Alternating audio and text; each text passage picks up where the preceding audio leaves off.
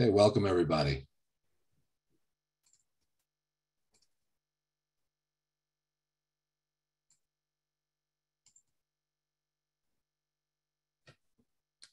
You see my light go off? There's a ghost in here.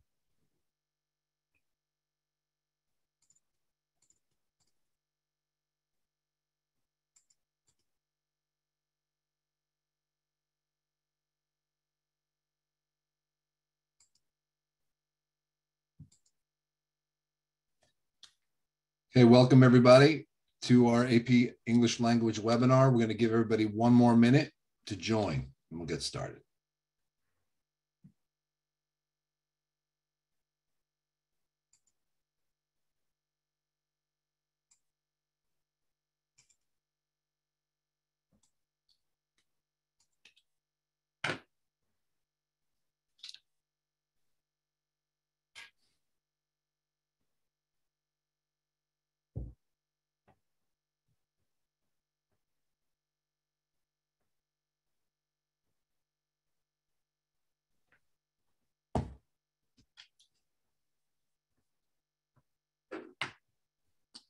Okay, maybe just a couple more seconds.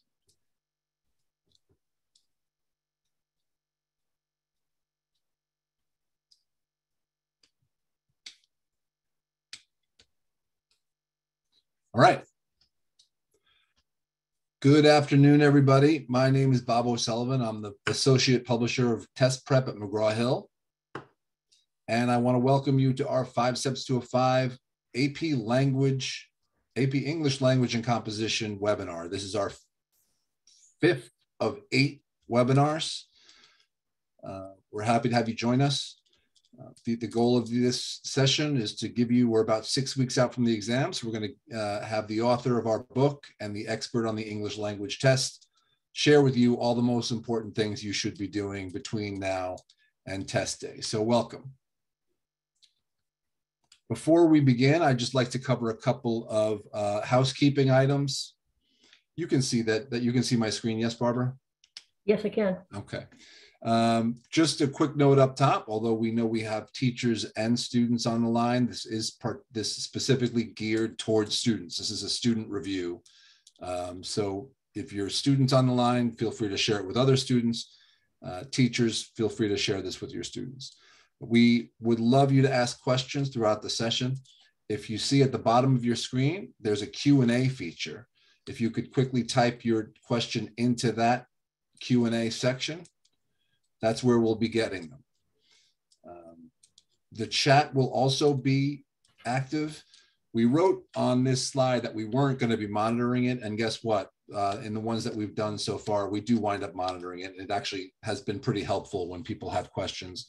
Uh, but we would urge you to the real questions, content related questions you have, please um, limit those to the Q&A button.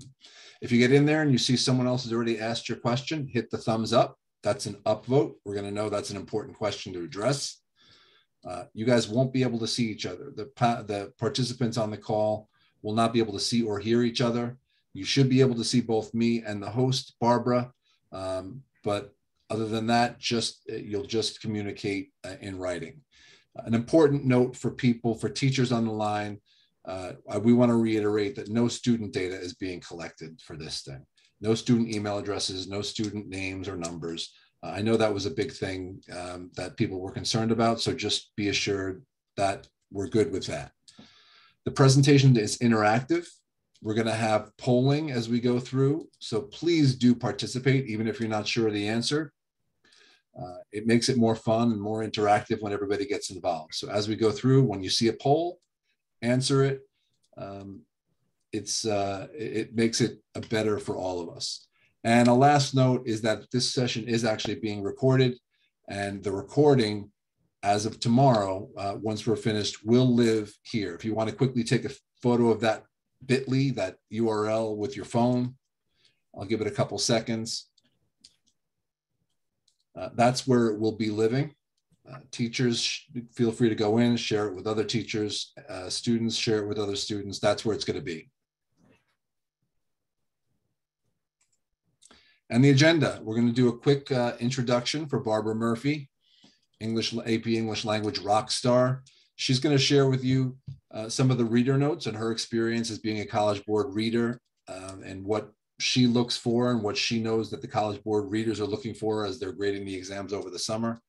We're going to run through some essential topics that uh, we think are important to review. We're going to get into a couple of multiple, a uh, few multiple, more than a few multiple choice questions and some free response prompts. I'm going to do a quick five minutes at the end on a bench prep course summary. That's basically our digital piece. I want to make sure that you guys all know how to use it and see what's in there, uh, that you can use that to study over the next five or six weeks. And at the end, we'll hit any questions that we haven't addressed throughout. With that, I'm uh, pleased to introduce Barbara Murphy. Uh, Barbara, over to you. Hi, everyone. I'm so pleased that you're able to join us uh, for this AP English Language Review Seminar. Uh, I'm an old dame with this subject uh, as an instructor, as an AP reader, and as an author. And what I'm hoping we can do today is to play on two things. And, be, uh, and in order to start that play, I'd like you to take a, a piece of paper, a pen or pens, whatever, and quickly respond to this particular brief question. Just a one word response. That's all I'm asking for. Okay. So, in one single word, what describes how you feel right now about your being prepared to take the English language exam on May 10th? Just one word. Okay. One word. You can pop that in the chat. No, no, no. It's, it's, it's private. They don't need to. Okay, we don't want to share it. All right, gotcha. This is private. This is, you know, know thyself. And um, with that in mind, um, we're going to kind of play on this um, old uh, motto. The Scouts motto is be prepared. And also in that context, uh, there's an old joke, excuse the joke. It's uh, one man says to another, How do you get to Carnegie Hall?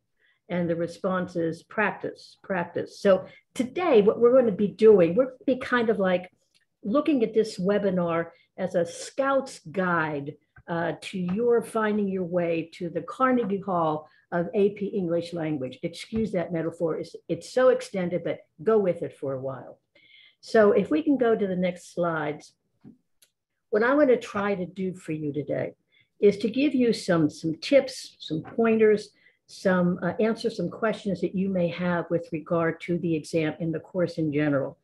And uh, we will proceed now. If we can take the next slide, Bob. Most of you already know this, but there are some that may want to have a review, a quick review. The basic text information is this. It's three hours and 15 minutes long. That first hour is made up of multiple choice questions for one hour. 45 questions, which we will talk about as we go through the presentation. You get a break, yay for you. Then you come back. And for two hours and 15 minutes, you write three different essays. One of those essays will be rhetorical analysis, the other argument, the other synthesis. They're going to be graded, rate, uh, uh, wrong word, and we'll talk about that word. They're not graded, they're scored according to a rubric, which goes from one to six, one being the lowest, six being the highest. And you will have to recognize that the multiple choice section of the exam is worth 45% of the grade. And the frequently, um, the uh, free response questions are worth 55% of the final scoring. So at this particular point, you are so lucky you're going to be able to take this exam in person this year. It's kind of like back to normal. Uh, there are going to be very, very few digital situations at this point. So most of you will be in a large room taking this exam um, person to person. Okay, Bob? I'm going to go over something very quickly. I'm hoping that as this year progressed, you've had a chance to talk to people who have taken this course, who have taught this course, you're going to be talking to people about how you want to plan to prepare yourself now for that exam. And in the elite and in the regular edition of Five Steps to a Five AP English Language, we give you some of those forms that you can take to prep for the exam. And if you have a chance, take a look at those and make a commitment to try one of those plans that'll get you right up to that day when you're walking into the room and taking that exam. So if you get a chance, take a look at that. Next, Bob. Ah, here we are. We are 41 days away from that exam. Okay. Here's what I'd like you to do. When you get the chance, retake that diagnostic exam that you find in, a, in the five steps book. Evaluate your strengths and your weaknesses. Be honest with yourself. Okay. You're the only one who knows. Study the appropriate chapters and activities in the five step book and go over those rapid review sections that are at the ends of each chapter. Okay. Practice creating multiple choice questions of different types if you have a study group. And if your instructor is giving you practice, don't go, ha, ha, ha, I can do this. Go with it, give it your best concentration. Once you have a chance, then complete practice exam one and develop those review workshops for your study guides and for your study group. This is absolutely necessary. And as a reminder, you'll find out more about this at the end. Don't forget about the cross platform that's available to you throughout the year. It is incredibly valuable. You just got to get used to it. Remember, it'll be new to you, but give it a chance. You have so many activities, so many ways of reviewing your skills that you should not pass it by. Okay, Bob? Two weeks before the exam, You've taken the diagnostic. You've taken the first exam. Now let's take a look. Highlight, go to the glossary, okay, in the five step book. Take a look at the vocab there and ask yourself is there anything I'm not familiar with? And if there is something you're unfamiliar with, promise yourself you'll do a quick review. And if you don't know the answer or can't find it right away, ask your instructor or ask one of your study mates. Okay, promise yourself that. Write at least three timed situations and take three timed multiple choice situations during those last two weeks. Here's the reason the more practice you have, the more comfortable you're going to be, the less tense you'll be. And the only way you can get prepared is to put yourself in a time situation. This is the game, folks. It's a game you're almost playing. It is a timed situation. Okay. You're going for the goal. What is it that you need to do to make that goal? So take that practice exam two in the five step book. Again, score yourself. And if you get a chance, work with your study groups.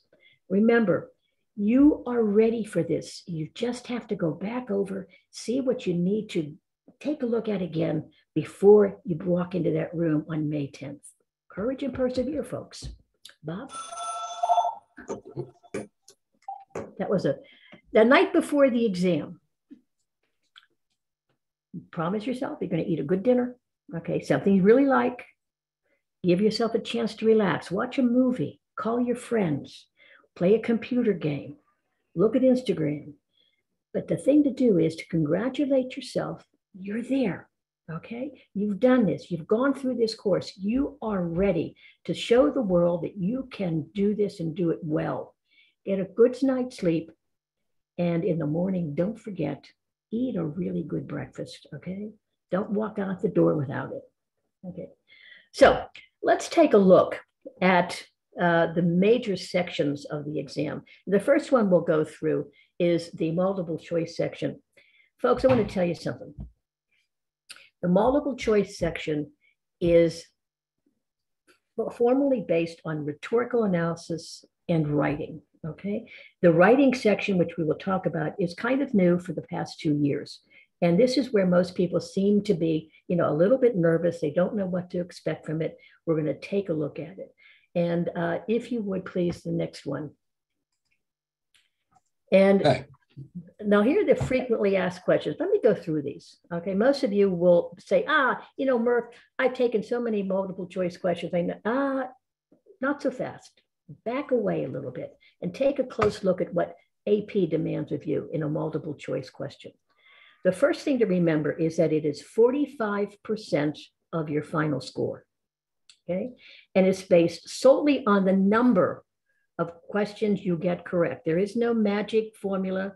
There is no, you know, crazy algorithm. It's just a straight number of correct out of 45 questions.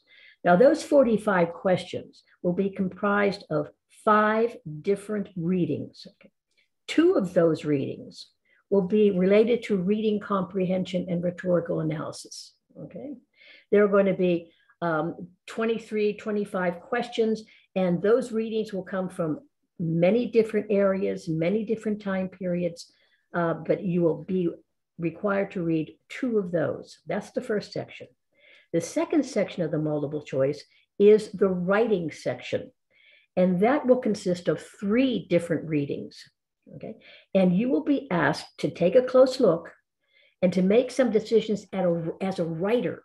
Okay. What would you do to delete some additional material or to add some material, to make a transition, to change positions? This is the editing and the revision process. I think for most people, it's go- that's going to be the longer of the two sections. So if we can take a look at question two. Bob, there we go. We have, what are the major categories of the multiple choice question? We just said there that there are both types of readings and writing, but they were always concerned themselves with the rhetorical situation, or the reader's reading's claim and the support given for that claim, the line of reasoning, which is the organization, and the writing style. So no matter what reading you have in front of you, this is going to be the central focus for the uh, creation of those questions. Next. The expectations of the reading questions, okay? Watch this. They're going to expect you to clarify how choices are related to the rhetorical situation. They're going to ask you to analyze claims and evidence as they are related to the thesis. They're also going to ask you to analyze the line of reasoning presented in the argument. And they're going to ask you to infer or conclude how stylistic elements relate to the text's purpose or intent. Question I've always asked is, will they ever mix the reading and the writing questions for the same text, okay? No. If it's a reading question, those are the questions. If it's a writing, those are the writing questions. They're not going to be mixed together. You don't have to worry about that. Now, the expectations of the writing question. This, I think, for most of you is going to take you longer to do because here's what you have to do. You have to demonstrate your ability to make choices in the text in response to the rhetorical situation you have to choose relevant evidence in developing a line of reasoning. You may have to evaluate the organization in commentary when trying to strengthen the line of reasoning. Or you may have to decide which words and or composition elements have to be used or be deleted to strengthen the presentation of the argument. Okay. So the next question did I flip it? I thought that, yep. There we go. There we go. Um, the general strategies, ah, here we go. Everybody wants to know, how do you do, how do you do well on the multiple choice questions? Number one, make certain you read carefully. Okay, don't, I, what I have found personally that when I make mistakes with multiple choice, I skip things. I try to skim things. Tell yourself, slow down, read it carefully and read as if you're reading aloud to an audience. Read all the information provided in the text. Read closely, underline, circle, annotate. Folks, you've got to work out an annotation thing for yourself. You know, circling, underlining, highlighting, stars, slashes, arrows, whatever works for you, do that. Abbreviations, use them. But here's the thing make certain that those abbreviations, those symbols are understandable to you. They don't have to be understandable to anybody else, just to you. Right? Beware of the organizational and rhetorical elements. Be aware of thematic lines and details. Now, you'll notice I have this last one highlighted, and this is a, it, it can be problematic for some folks. I personally read the question stems before reading the actual text in which those stems are based. That works for me. If you have to try it out, because for me, I look at those stems and I have an idea how the creators of the test happen to be thinking about the reading. That works for me. It may not work for you, but give it a try, see if it is. Okay, next.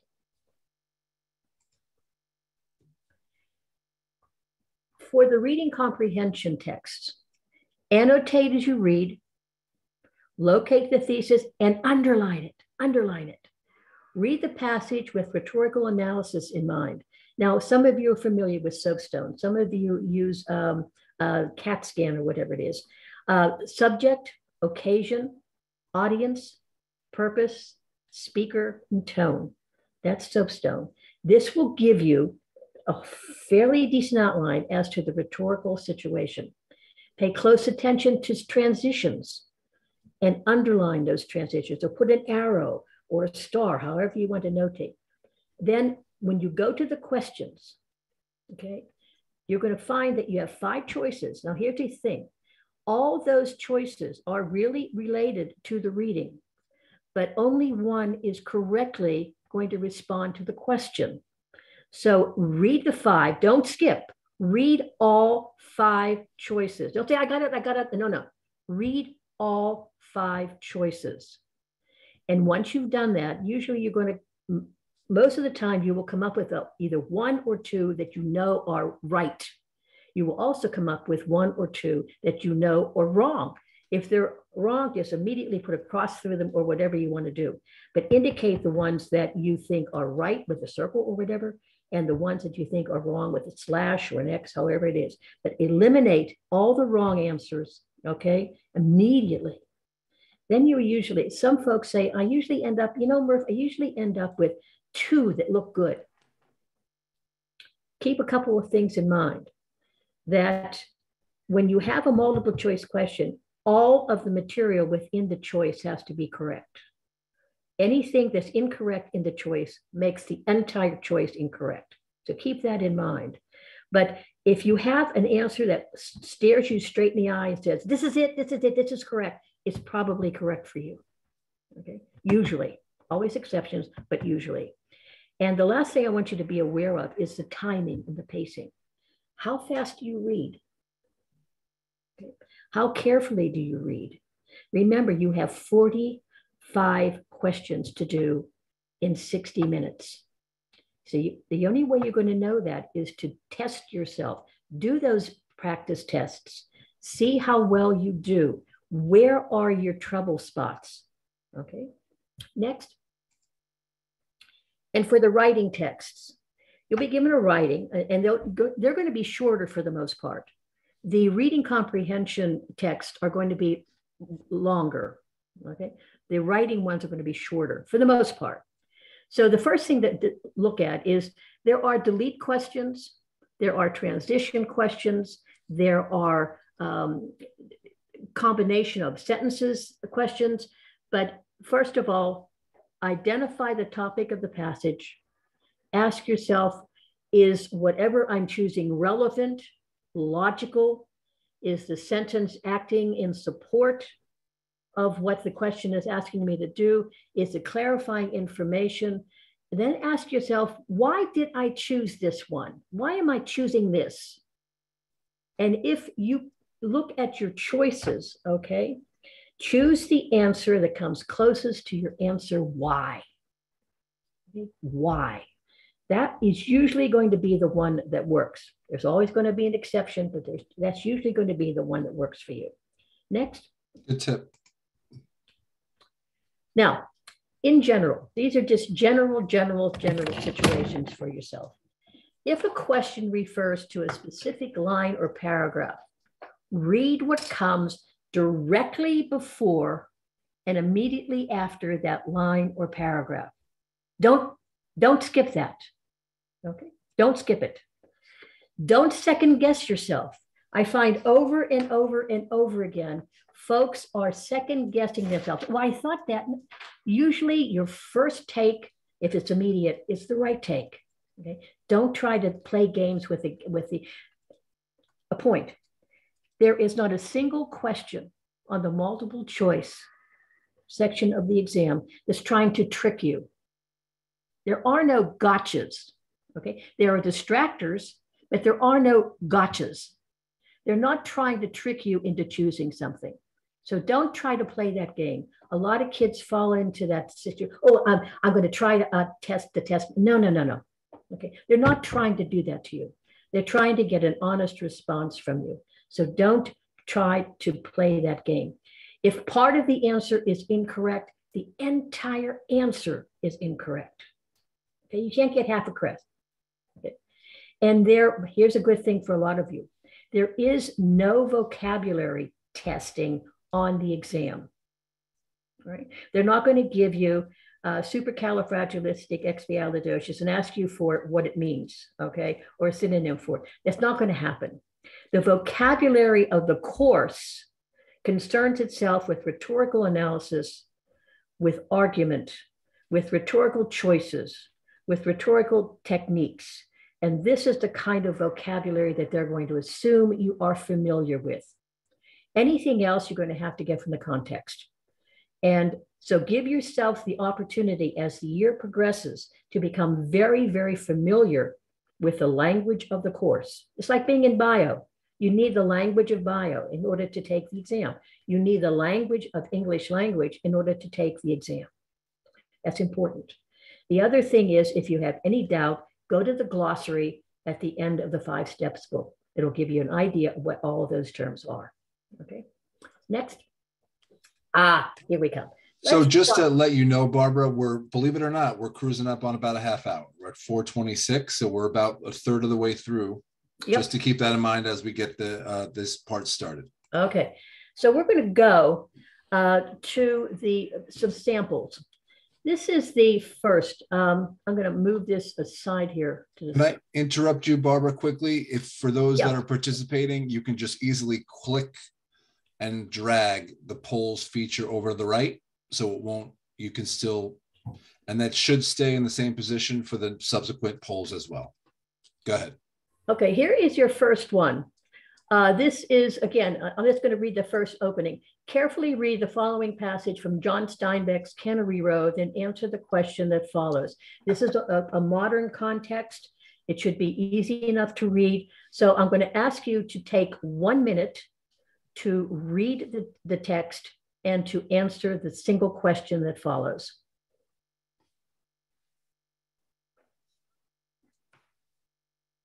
Make your choice and put it on the uh, poll sheet.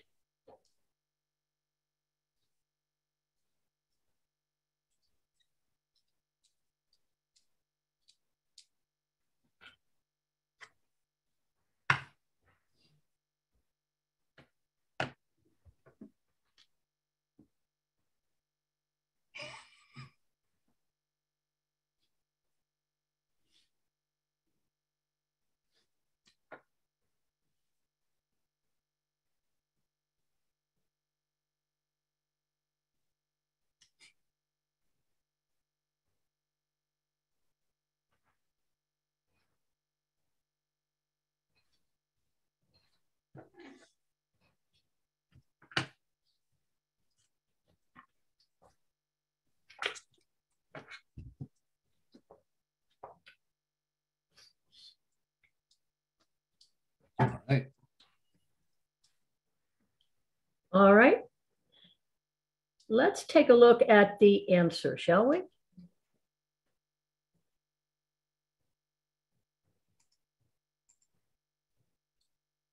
All right, most people got it. Ah, I like to see that. I like to see that. Now notice what I have written here. The major rhetorical strategy used in this passage to define Cannery Row is comparison contrast.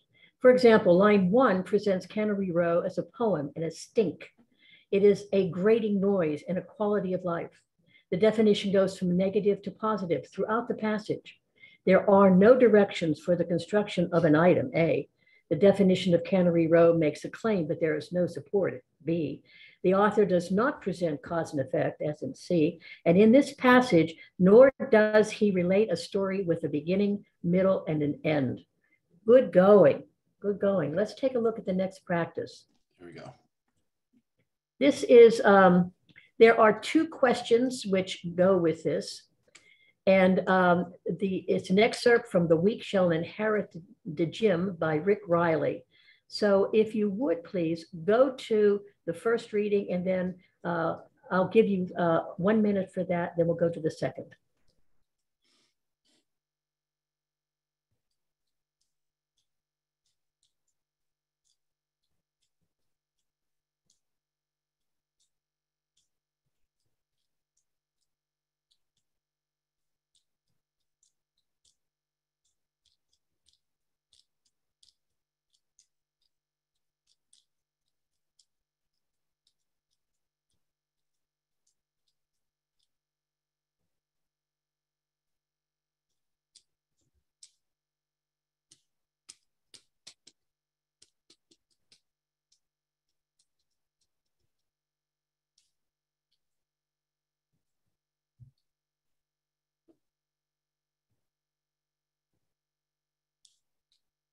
Good.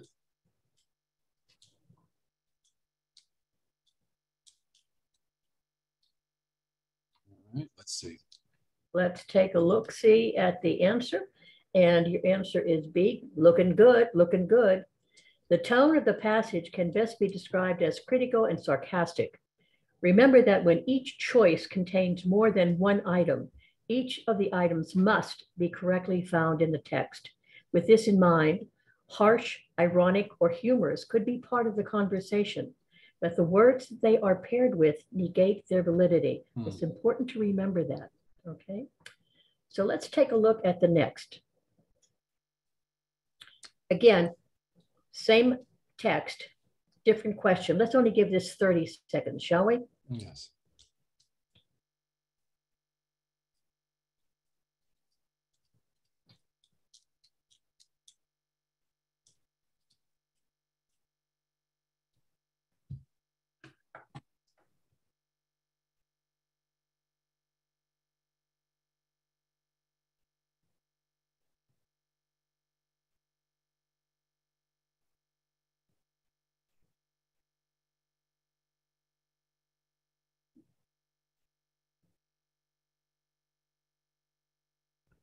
Okay. Oh, hey, we have a really good oh. uh, conglomeration of answers here. Let's uh. Let's take a look at the answer. D. Okay. The only rhetorical technique, I think the problem could be the idea of what a parody is. The only rhetorical technique not used in this passage is parody. The use of everybody is an example of hyperbole, A. Cozy womb of non-competition, and Little Red Riding Hood and Big Bad Wolf are metaphors, B. The entire ex excerpt is ripe with biting criticism, as in C. The idea of Little Red Riding Hood setting up a commune with the big bad wolf is a nod to satire. And parody, a humorous, exaggerated imitation of a given action, person, or item, is not used in this text. Now, here's a clue for everyone. If you did not know what parody is, take a look. It's defined here for you, but also go to the glossary in the text of five steps and it'll be defined again for you. And I can guarantee you that this term and the others used in this uh, multiple choice question will be used many times in the exam. So get those uh, those terms straight for yourselves. Okay. So Barbara, I uh, I don't know if I missed it before, but Audrey Geber uh, about three four minutes ago uh, asked a question in the Q and A in regard to rhetorical modes. Mm-hmm. Could this be considered a definition passage? I think it was the one that we were on a couple. Yeah, that could that could be that could be that could be termed a def as a type of question that it is. Sure, sure. Okay, Audrey, if you need us to clarify toward the end, please come back and ask. Ask. Sure, sure. Let's cruise again. All right. So here we have this, and now you can guarantee yourselves again that within the uh, multiple choice section will be um, texts from a different time period. Here's an example of one from Common Sense by Thomas Paine. So give this a read. One minute, please.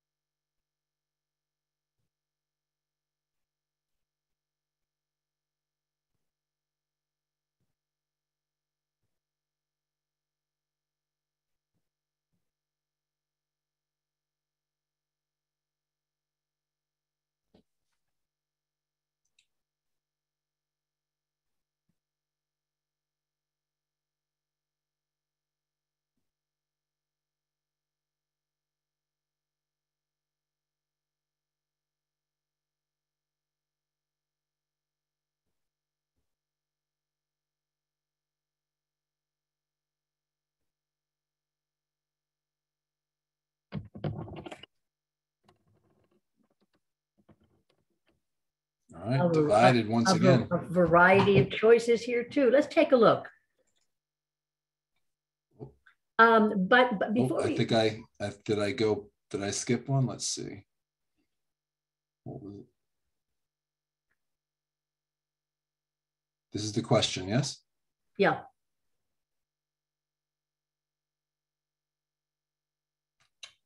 We may be missing a slide, my bad. Um, can you just tell us what the answer is, Barbara? Here's a good opportunity for us to take a look at it together. So here we have, oh, ye that love mankind, ye that dare oppose, not only the tyranny, but the tyrants stand forth. Every spot of the old world is overrun with oppression. Freedom hath been hunted round the globe. Asia and Africa have long expelled her. Europe regards her like a stranger, and England hath given her warning to depart. Oh, receive the fugitive and prepare in time an asylum for mankind. Okay, so let's take a look. We have an example of hyperbole all over the place, right? We have exhortation. We have, oh, receive the fugitive. Oh, ye that ye that dare. This is exhortation. Uh, parallelism. Uh, do we see parallelism here? Let's take a look. Oh, ye that love mankind, ye that dare oppose, not only, uh, oh, receive the fugitive. We have that kind of situation. And do we have metaphor? Yes, we do. Overrun with oppression, hunted round the globe. What we don't have, okay, is simile.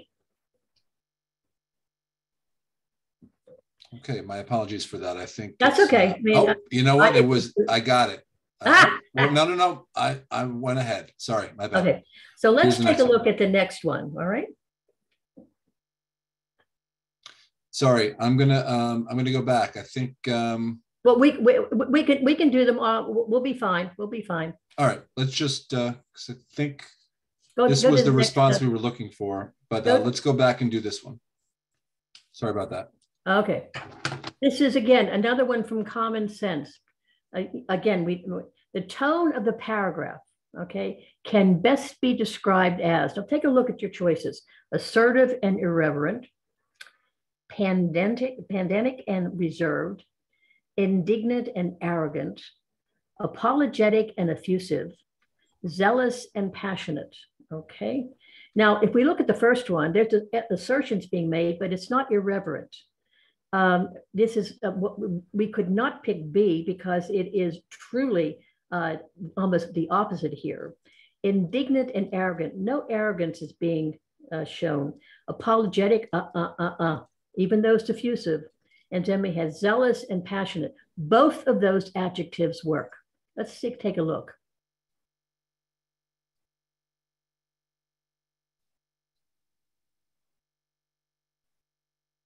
There you go. Okay. So that's the way you would work your way through, you know, the series of, uh, of choices. Again, it's a very, very good example. it's a very, very good example of um, both terms having to be correct in order for the choice to be correct. Next reading. Sorry, I see that Angela Hamrick is asking a question. Angela, I think you're 100% right. I'm going to get to this at the end. I don't want to hold it up yet, but thanks for that. And we're going to get back to that when we do the questions at the end. Okay. Ah, here we come, the writing situation. Now this again uh, is going to ask you to take a look at the text and to look at it as if you were the writer and how you would make some changes. Here is asking you for a transition. Easy enough to read, very acceptable, accessible reading. Take a look, give it a close reading, and make your choices. And in this particular case, I'm going to give you a minute and a half.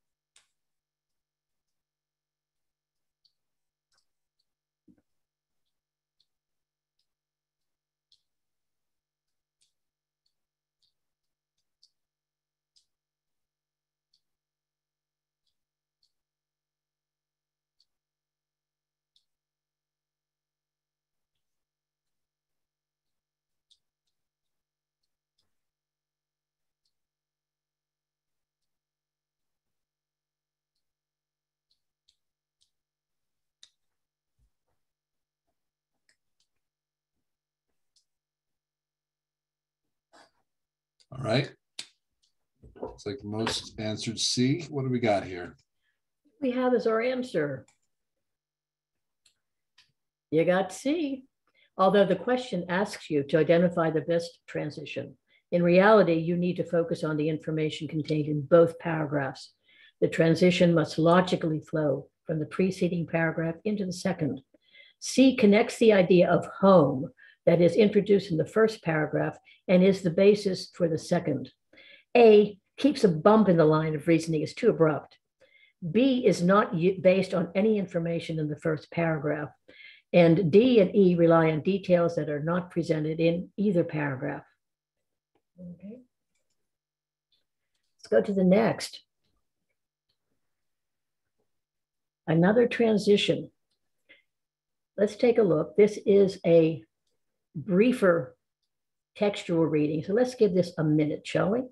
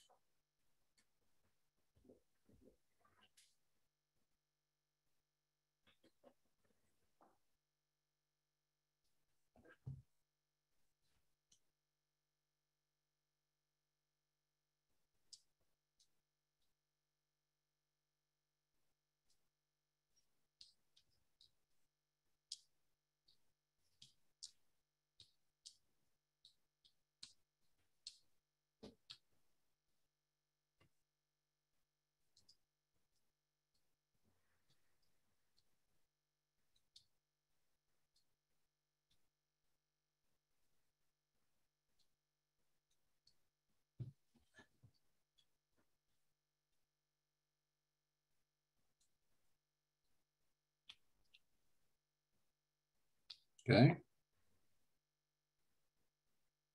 And the answer is B. You got it. All right. Although the question is phrased in terms of a transition, you must focus on the information that follows because the underlined sentence must set up that information. What comes before is less important. The sentence that follows indicates that the writer decided to visit all the national parks in the United States as a result of his or her experience in Yosemite, as indicated by the word therefore. As a result, the correct option must be positive and consistent with the idea of wanting to visit additional national parks. C, D, and E are off topic, but be careful with A. The statement that the writer had never seen such dramatic scenery before might seem to explain the desire to visit more parks, but B is much more specific.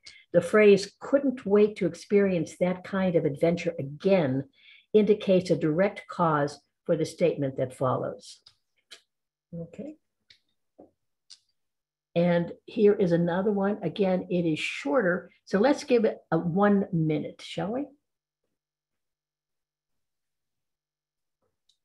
Barbara, we're at 45 minutes, so we're halfway home. Just Okay. a little time check for you. That's exactly what I hoped.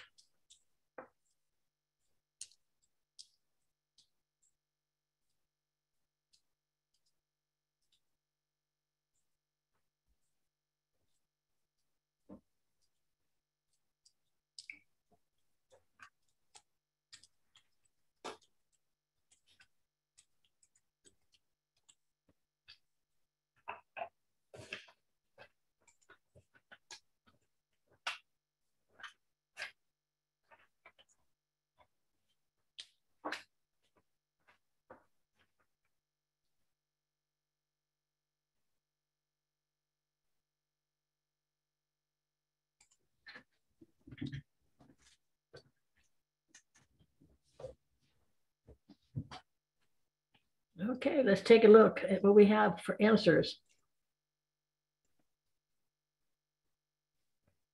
And the winner is, Bob will show us. There we go. There Nice. you go. Delete questions are essentially asking you to do one thing, whether the information in question is on or off topic. As a result, you must start by identifying the topic of the passage. What's the topic? In this case, paper clothing. I love it. Suits. What is the sentence in question about? The first rubber erasers. Is that the same thing as paper clothing? No. So the sentence should be deleted. Why? Because it's off topic. Okay, it's not really about paper clothing. I, I think that whole thing is so funny. So the answer here uh, is B. This next is the most complicated kind of question that you probably will be asked on the writing section of the multiple choice uh, exam. So I'm going to ask you to take, let's give it a minute and a half, read this carefully and be very careful with your choices, okay?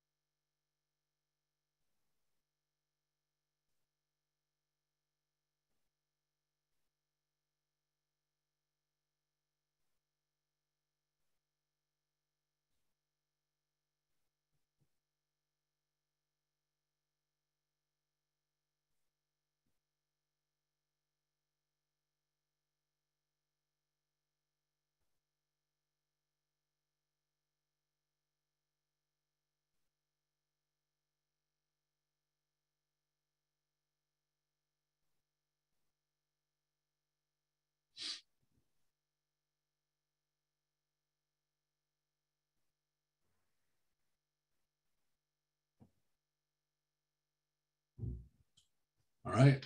Ah, you're courageous. Let's see what we have as our answer.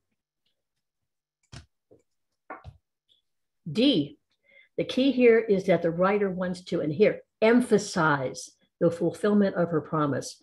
Choice D places her promise alone in the forefront and provides a time frame for achieving the promise. Choice A gives no indication of any fulfillment.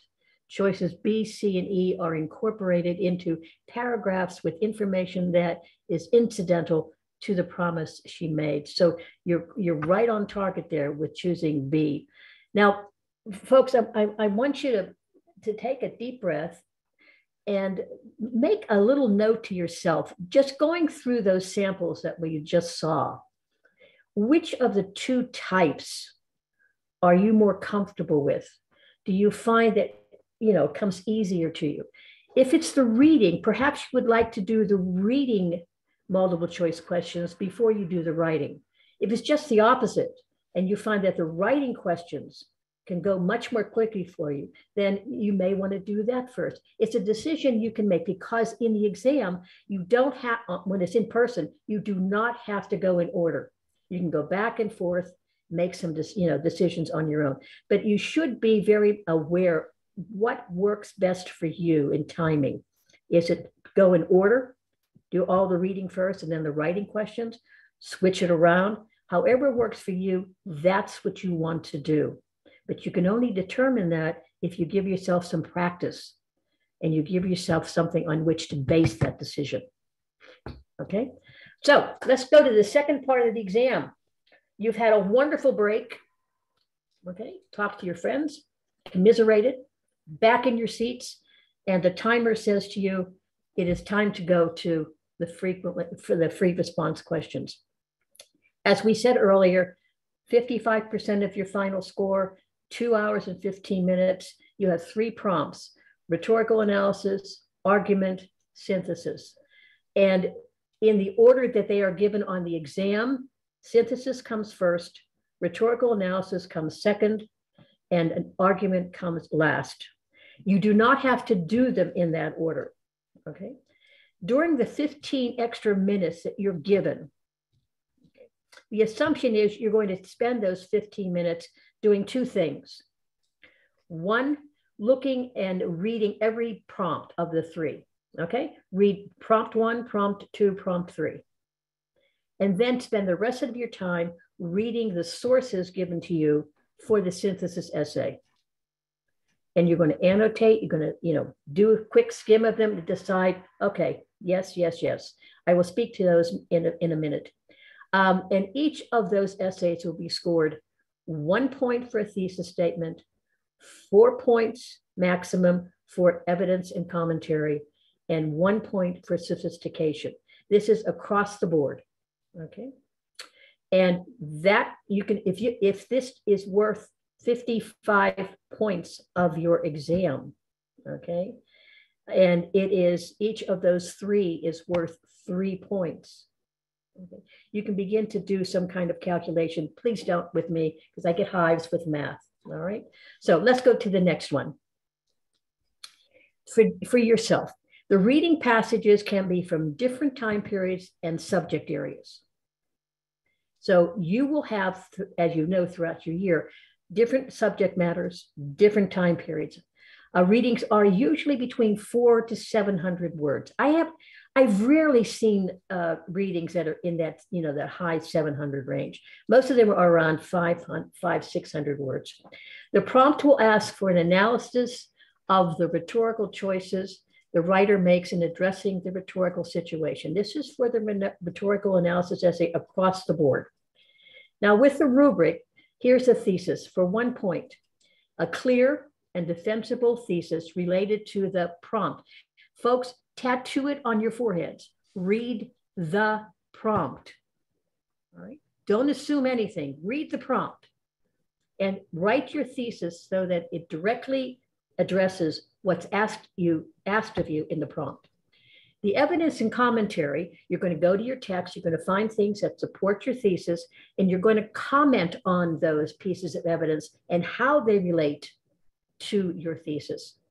So it presents evidence to support the line of reasoning. Now remember what the line of reasoning is. That's the organization. Okay, that's the organization of your presentation. Explains how the evidence supports the line of reasoning. One of the things that I, I like to think about when uh, writing one of these essays is the writer says and does because. Says, does, because. If you can keep that in mind when you're writing your body paragraphs, right on target. And the sophistication point, which usually causes everybody to get hives, is only worth one point out of six. Okay, please keep that in mind.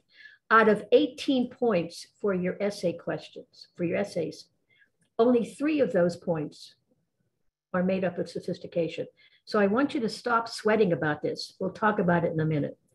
It uses appropriate grammar and punctuation in communi communicating the argument, and it demonstrates thorough knowledge of the rhetorical situation. Um, and, and at the end of this section, I will give you much, much more detail about sophistication. Okay, let's go to the next slide.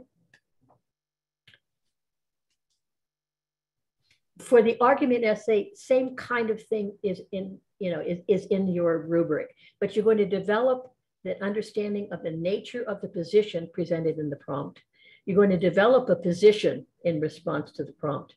And you go clearly and logically support your position, claim, or thesis. And the rubric, again, it's the same situation that we just talked about with the rhetorical analysis. All those things are in effect. But here in the argument for you, you have the opportunity to use your personal experiences, what you've read, what you've seen, what you've heard, current events, cultural, philosophical, sports, it doesn't really matter for me. It matters for you. Does it support what you have stated in your thesis? So that's the argument essay. Now we get to the synthesis essay, which is really an argument, right?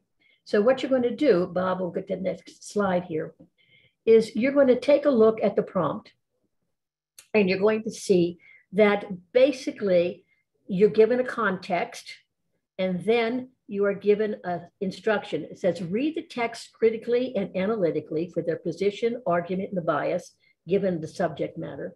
Develop a position on a given topic with support from appropriate evidence from the outside sources. And you're going to incorporate and cite sources in the text of the essay. For our purposes, it is going to be at least three. You must cite three of the sources. Okay. If you do not cite three of the sources, you're up the creek without the paddle. Right. And again, the A thesis is going to address the prompt with a thesis that clearly takes a position and indicates how the thesis will be developed. It clearly presents for the evidence and commentary a support of the thesis by referring to at least three of the given sources. And it clearly explains the relationships, this is key, the relationships between the evidence and the thesis. And for the sophistication point, exactly what we said previously. Okay, so let's get to a specific example. How much time do we have left, Bob? Uh, it's about it's coming up on the hour, so we've got about a half hour left. Okay, got about 20, 20, 25 minutes? Good. Okay, let's work with the sample text. For everything from this point on, we are going to be using a specific text to refer to. And before I even get to that text, it's just a few little notes about keeping annotations going in your mind's eye. All right. You must, you must, you must, you must. Okay. Promise yourself that you will annotate the texts as you go through them, as you read them. Okay. Use arrows, underlines, as you see, stars, stripes, I don't care, whatever. Whatever will give you information about the organizational pattern and how it supports a thesis, you want to do that. Right. And at the very end, after you've done all that, you've read the stuff, you annotated, promise, promise, promise, you will do a brief outline. I don't care whether it's a single line, it's a series of circles, it's arrows, and whatever will give you, whatever will give you an idea in clear form as to what you're going to present and in what order will help. Without it, you're kind of flying blind. Okay. Note to yourself, I will do a brief outline. I can't make that any stronger. Next. Okay, we are going to take a look at a text and we'll take a look at how it can be used in all the different essay situations. So read with me. This is, okay, I am going to read it at the same pace that I would read it if I were reading it to myself. Okay, so when you are looking at your uh, essay prompts and the text that go with them, read as if you're reading them out loud to an audience. It'll slow you down a little bit, but also give you a chance to have that pen or pencil in your hand so you can make annotations. Okay, so here we go. The following is a speech given by Martin Luther King Jr. to a gathering of faculty and students at Morehouse College in 1947. Note, in 1947, Morehouse was an all male African American college. Information very important purpose of education. As I engage in the so called bull sessions around and about the school, I too often find that most college men have a misconception of the purpose of education. Most of the brethren think that education should equip them with the proper instruments of exploitation so that they can forever trample over the masses. Still others think that education should furnish them with noble ends rather than means to an end. It seems to me that education has a twofold function to perform in the life of man and in society. The one is utility and the other is culture. education must enable a man to become more efficient, to achieve with increasing facility the legitimate goals of his life. Education must also train one for quick, resolute, and effective thinking. To think incisively and to think for oneself is very difficult we are prone to let our mental life become invaded by legions of half truths, prejudices, and propaganda. At this point, I often wonder whether or not education is fulfilling its purpose. A great majority of the so called educated people do not think logically and scientifically. Even the press, the classroom, the platform, and the pulpit, in many instances, do not give us objective and unbiased truths. Next slide. To save man from the morass of propaganda, in my opinion, is one of the chief aims of education. Education must enable one to sift and weigh evidence, to discern the true from the false, the real from the unreal, and the facts from the fiction. The function of education, therefore, is to teach one to think intensively and to think critically. But education which stops with efficiency may prove the greatest menace to society. The most dangerous criminal may be the man gifted with reason, but with no morals. The late Eugene Talmadge, in my opinion, possessed one of the better minds of Georgia or even America. Moreover, he wore the Phi Beta Kappa key By all measuring rods, Mr. Talmadge could think critically and intensively, yet he contends that I am an inferior being. Are those the types of men we call educated? We must remember that intelligence is not enough. Intelligence plus character, that is the goal of true education. The complete education gives one not only power of concentration, but worthy objectives upon which to concentrate. The broad education will, therefore, transmit to one not only the accumulated knowledge of the race, but also the accumulated experience of social living. If we are not careful, our colleges will produce a group of closed minded, unscientific, illogical propagandists consumed with immoral acts. Be careful, brethren. Be careful, teachers. Now, I read that out loud, and it took me three minutes and 16 seconds. Probably uh, because I was doing this particular emphasis, it would have taken me less time if I had read it to myself. This next page shows you what my actual page looked like. These are my annotations. And this is this I did as I was reading the first time around. Okay. This is what your texts should look like. Scribble lines, whatever. And you'll notice at the very, very bottom, in very, very brief uh, phrases, etc., is my brief outline. So this is what one of those should look like. Okay. Next.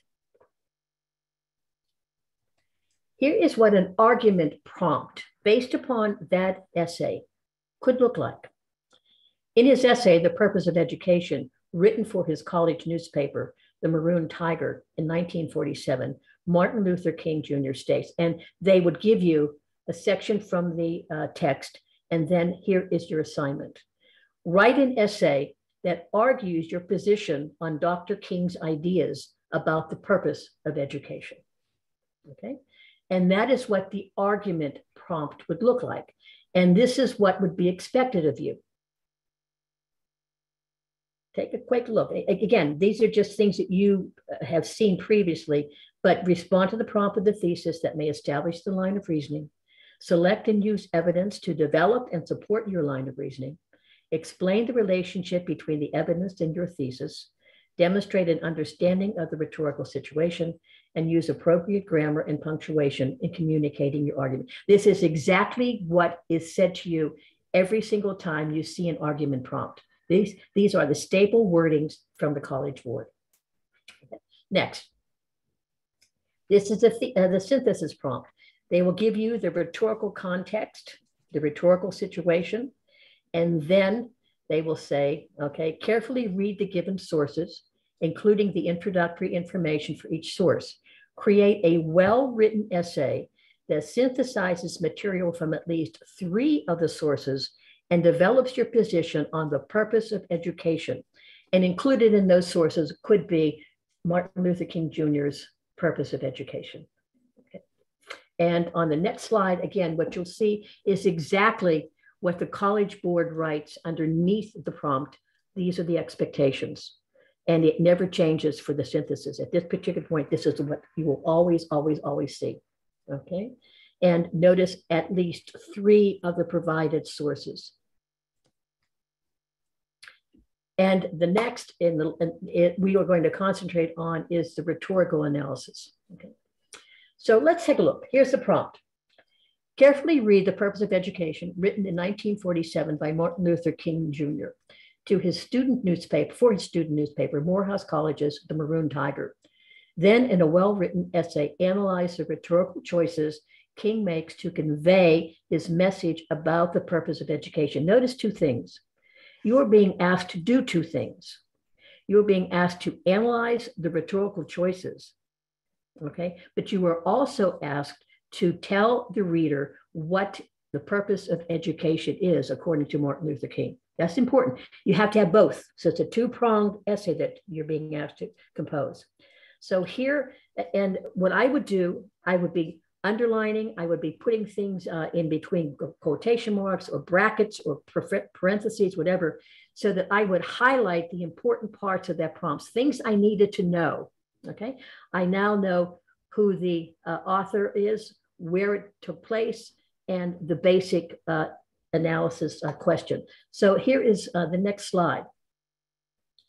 Make certain when you write your thesis, okay, that you have the article with a prompt in mind, okay?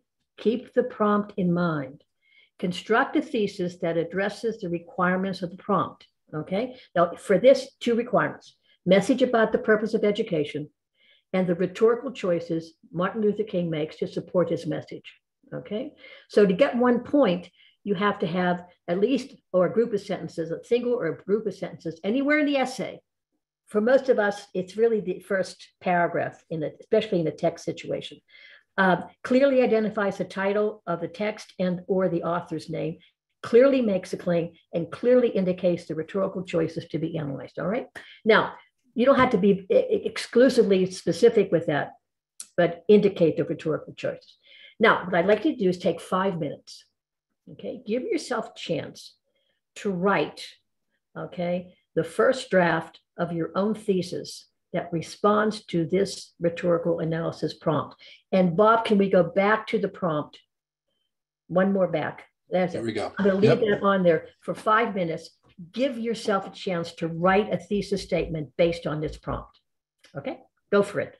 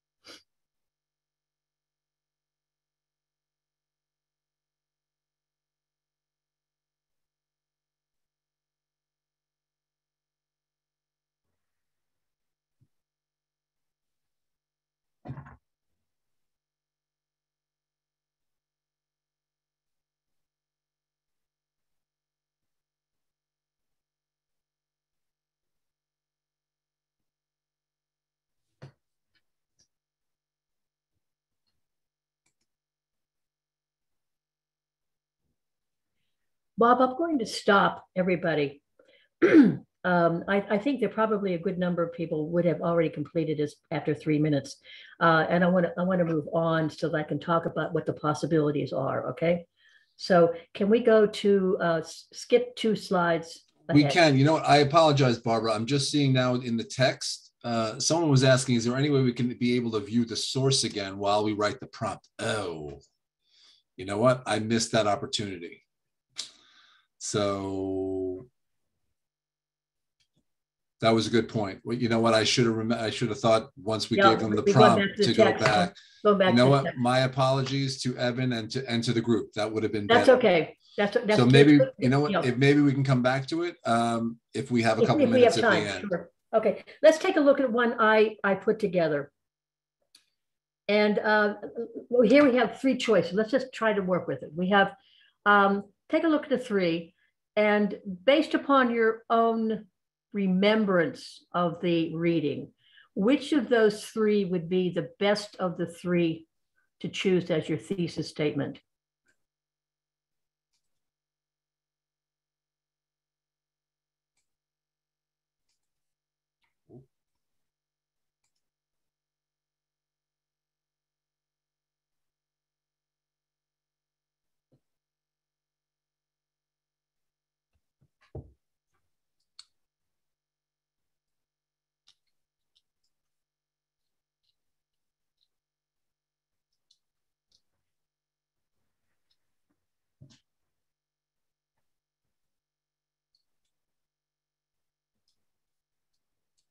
Okay, let's move uh, to the next slide, Bob. The thesis that would get the one point is the one that reads in his essay, The Purpose of Education, published in his college newspaper, Martin Luther King Jr. argues that the true education must address both utilitarian needs and cultural goals. Speaking to his fellow students at Morehouse College in 1947, Dr. King cites both contrasts and current examples to warn against focusing only what he calls intelligence while ignoring character. And uh, you'll, I've highlighted the, the author's name in yellow, uh, the, the, the message uh, in blue, and in pink, the rhetorical choices. And the other two don't have both of those uh, components in, in, the, in, the, in the statement. Uh, let's go to the next slide. And uh, again, you can't do this because uh, we didn't think, I didn't think far enough ahead to combine the two and one in front of the other. My apologies. So uh, I want to say a few words about line of reasoning. We throw this uh, phrase around like crazy. Okay. Line of reasoning, it simply means the logic of the presentation. Okay. What comes first? What comes second? What comes third? Uh, how they relate to the thesis and your personal comments on those particular points. So what I've done is to uh, give you a kind of schematic as to what this means. So you have the commentary, which specifically relates to the given pieces of evidence in a given paragraph. And the paragraph is centered around a specific uh, topic sentence, which relates specifically to the thesis. It's just a, some people work better with schematics, and I just thought that may be useful to you. Okay. And uh, it's, it's a logical sequence of claims. And one of the easiest things for you to do is to, as you go through your year and as you go through prepping for the exam, make certain you, uh, in your writing, you point out those transitions. They become very, very, very important in the, in, in, the, in the essay presentation. Okay. Next. This is that, that's the thesis. And here is an example of a body paragraph. And when you get a chance, okay, we can, you can, uh, I have the sentences numbered for you in the body paragraph and uh, you can go back and locate them uh, as I speak about them uh, on when you have your own time to look at the presentation. So if I can have the next slide, this is my body paragraph. Notice what I have. Yellow is topic sentence. Evidence is in blue, and the pink purplish color is the commentary, focusing on his belief that education must teach more than just math and science. King cites the examples of the experience of half truths, prejudice, and propaganda to argue that education may not be doing the best job possible because he sees these weaknesses as current problems. These are not, now notice, then you get the personal uh, comment. These are not just abstract ideas that have no basis in the real world. MLK pushes the students to consider this accusation by citing even the press, the classroom, the platform, and the pulpit for being duplicitous in continuing to ignore the true differences between what is true and what is false, between what is function and what is moral and ethical. This message is made abundantly clear with his example of the late Georgia Senator Eugene Talmadge, whom King acknowledges to be an intellectual giant, but who contended that Black people are an inferior race. For MLK, there is no possibility of a just society without a solid knowledge of the moral, ethical culture that supports a just society. So you can see, I'm hopeful that you can see the clear difference between the topic sentence, how that evidence relates specifically to that topic sentence, and how the writer comments on those pieces of evidence. And that is what we mean by evidence and commentary. Okay, so can we go to the next slide? This is just again, when you uh, have time on your own, I give you the sentence numbers that you can go back to uh, and check uh, the specifics from the actual uh, text itself. And here we have a little star. I have my own little annotation note here. Um, sophistication goes for one point. And it's examples of what could be added that would be part of demonstrating sophistication or thought or a complex understanding of a rhetorical situation. So if I wanted to get involved in a, a, sophisticated situation, a complexity and a consideration of the complexity, the writer could have written in the middle of the Jim Crow era in the South, there are not just abstract, these are not just abstract ideas that have no basis in the real world. Or, and then the beginning of another sentence, Senator Talmadge, what I've done as a writer is I've connected the specific text to something larger than itself. And the key here is it's connected to something larger than itself. And one of the, the, the, the, whole thing that goes with um, sophistication is people are so worried about it. I have to tell you, the sophistication point is not that rare. I mean, it, it's not every day, but it's not that rare. Remember, it's only three points out of 18. And in the last exam, more than a little bit more than 50% of the students got the point in sophistication. So that doesn't make it rare. Okay. Mm. Uh, in rhetorical analysis and in um, uh, synthesis, you know, kids got about 50% of them got ones for the sophistication. It was a little bit lower with the argument uh, situation. But again, it's not an impossible situation. It's not impossible, but you can't you can't just do it once in your essay and say, oh, I'm going to get sophisticated. It has to be throughout the essay. It has to be consistently presented so that you make your reader aware of your knowledge of the outside world and how these things connect to it. And that's important. Uh, a question that somebody uh, always asks is, well, if I have bad grammar, will I, uh, will I lose points? Probably because you have to make it clear and the clarity depends upon decent syntax. And so we, have to work with, but that sophistication is really uh, consistently aware of a world outside of the specific text. And in the next, okay, is for you, Bob. Yep. So uh, I wanted to just spend a couple minutes here. If you want to quickly fire up your phones and take a picture of this URL and the code. You don't want to take a picture of my puppy? I was kind of waiting for you to introduce him. What's his name? Bogey, as in Humphrey. Okay. It's a good picture, and he goes. He's dressed like in the McGraw Hill color scheme too, which is a a, a plus. That, that's the reason I chose it. all right. I'm going to assume you've all uh, taken a picture. I'm going to just be patient with me as I stop sharing. I've got to get over to the other platform. Hold on.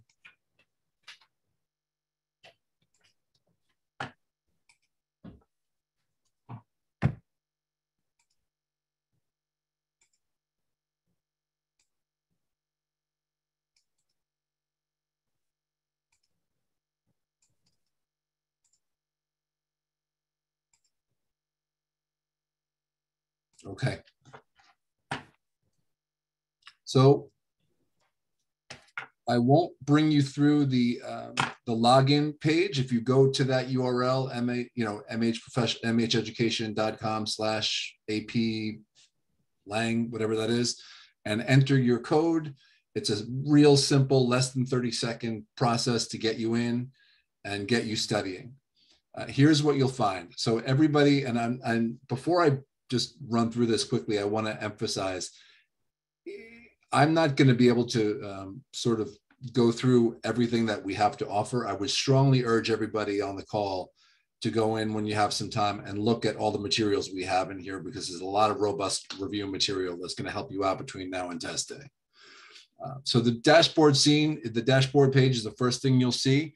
As um, as Barbara mentioned earlier, there are 41 days uh, between now and the test.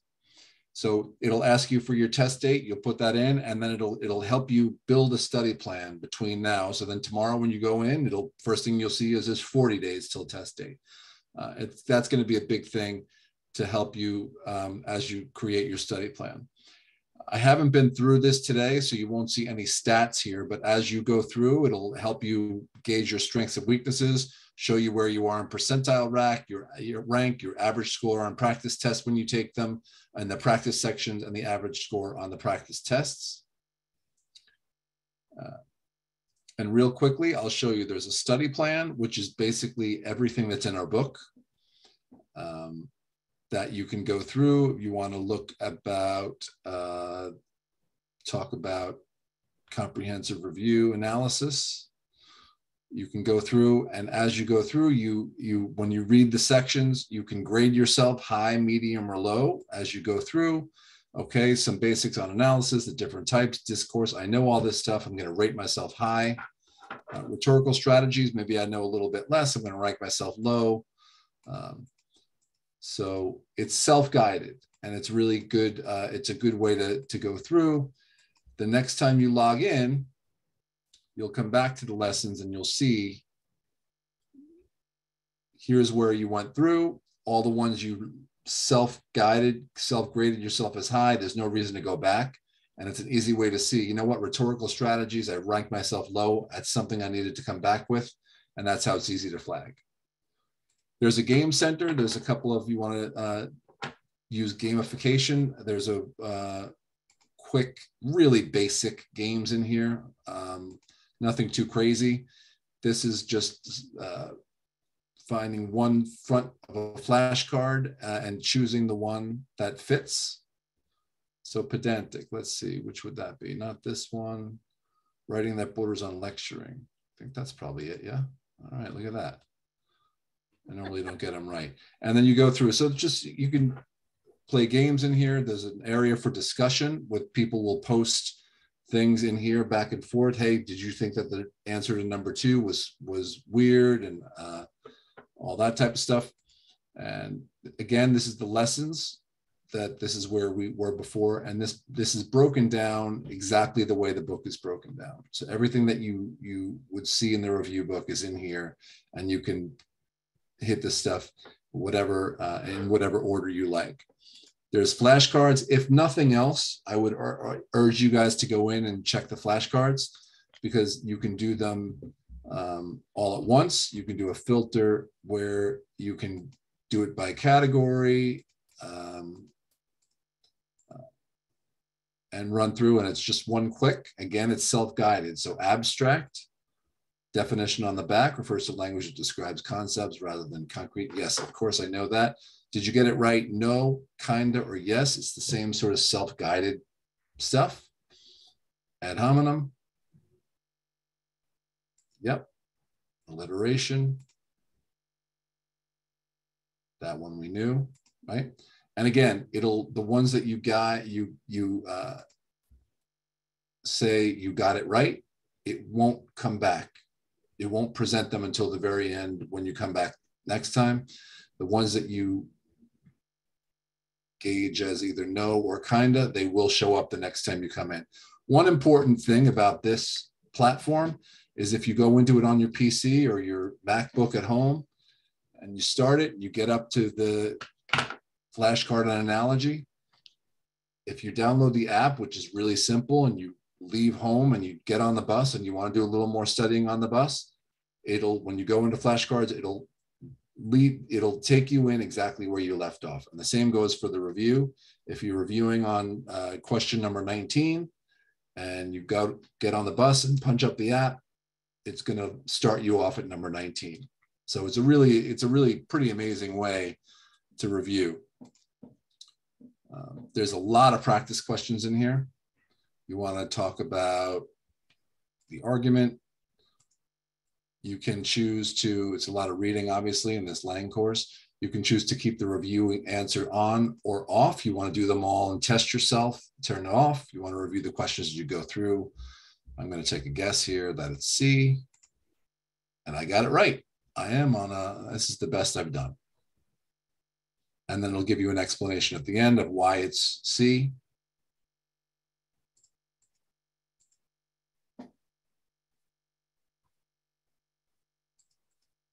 I'm done practicing. I'll come back. That's so that's all the practice topics we have. And the most, possibly the most important thing that you could be spending your time on now is there are three full length tests that you can do in here, interactive. You do them all. It gives you the exact uh, amount of time that you need to take the test, the same, same time you'll find on test date. You've got section one is 45 questions, it's an hour. And section two, all the prompts we just went over, those three questions are an additional two hours and 15. And this is going to mimic the real thing. So, if nothing else, this is a really good tool for you, the teachers that are on the line, to share with their students, the students that are on the line to use um, between now and the test date. Bob, can I can I make uh, give Please. one proviso to our folks? Mm-hmm. Um, and it's a question that always is asked of me. Um, the readers look at every single essay as a first draft. That's important for you to remember. As a reader, I am looking at a first draft, and I assume that's what it is. And therefore, I'm looking at it holistically as an entity, okay, as a first draft. I do not want to punish anybody when I read. I want to award as much as I possibly can. I am looking for what's good there. I am looking for things to reward. I am looking for things to give credit to. I am not looking to take away. And that is for every single reader. You never have to doubt that. Trust me, you never have to doubt that. Every single reader there is on your side. They are rooting for you from the very first word to the very last word, from the very first paper they read to the very last paper they read. They want you to succeed, believe me. Great tip. Thank you, Barbara. So you'll see just the last word on here. I answered one question, got it right. Next time I come back, it's showing me my average score on practice questions is 100. So that's making me feel good, feel good about myself. Um, you know, again, feel free to use this thing between now and test date. It's here for you. You've got the code. Um, I don't know. We're back to like the last minute, Barbara. I don't know if there's anything else in the Q and A. I don't know if we want to revisit. There was something well, from earlier. Well, the thing that I will will say is that if anybody has a question that obviously we didn't have time to answer, uh, they can always contact me at the Clearest Ideas uh, email address, and I will get back to them as soon as I can. So, Angela Hamrick, uh, if you're still on the line with us, you were right. That was my mistake on the on the slide. You were saying in that one particular reading that it did have a metaphor for hunted. Um, you were right. If you want to go back and and uh, we don't have time now to do it, but I I appreciate your feedback, and you were correct on that one. The answer was actually B and not C. So um, my apologies. Any closing remarks? Anything else you wanted to mention, Barbara, before we uh, adjourn today? No, again, um, I, I, your kids are going to do well. If just allow them to feel confident, give them as many opportunities as possible to succeed. And uh, as students, you've got this. Just give yourself the time to prepare and do a little bit of practice. Great. So uh, we're at 531. We're a little bit over. I want to say thank you to all the teachers and the students that that participated today, and especially to Barbara Murphy. Barbara did a terrific job. Really, really helpful stuff. Great material. And uh, I'm sure that it was that the uh, people on the webinar really appreciated. So uh, thanks very much for doing this, Barbara. Okay, call, I mean, get a hold of me at uh, Clearest ID if you have a question, guys. All right. Well, good luck, everybody. Thanks for attending, and we'll see you next time.